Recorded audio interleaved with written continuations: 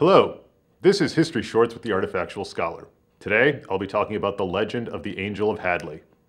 During the 1670s, a conflict known as King Philip's War raged across New England.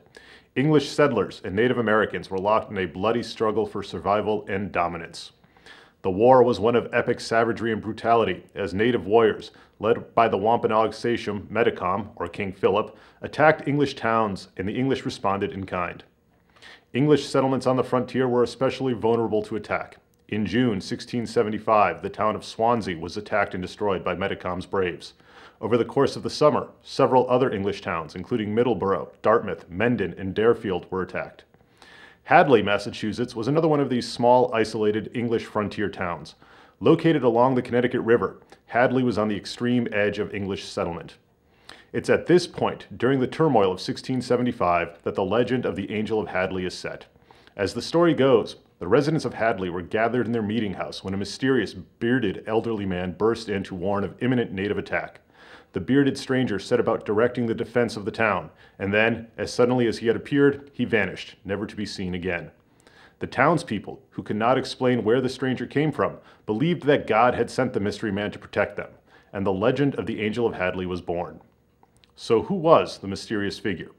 The answer might be found in an earlier episode of English history.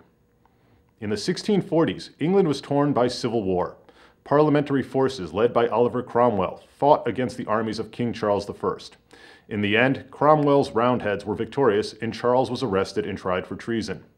In January 1649, King Charles I of England was condemned to death by a commission of 59 judges. For the next 11 years, England would be ruled as a commonwealth headed by the Cromwell family. Then, in 1660, the monarchy was restored. Charles I's son returned from exile and ascended to the throne as King Charles II. Immediately, Charles II set about seeking revenge on the regicides, those who had condemned his father. To escape the king's wrath, many of the surviving judges fled from England. Several went to Europe, and three of the commissioners fled to New England. One, John Dixwell, fled to New Haven, Connecticut, where he lived under an assumed name. The other two, General Edward Whalley and Major General William Goffe, fled first to Boston, then to New Haven, and finally to Hadley, where they were given shelter by the town's minister. There, they remained in hiding.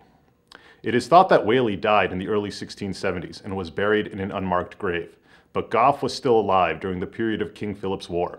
By the 1760s, published accounts of the war included the tale that the mysterious stranger who saved Hadley was in fact Goffe, who left his shelter, organized the defense of the settlement, and then went back into hiding. Was William Goffe the savior of uh, Hadley? Did this convicted regicide, a wanted man, emerge from hiding long enough to defend the small frontier town? The historical record is divided as to the truth of the legend, but it does make a great story. This has been History Shorts. Thanks for watching.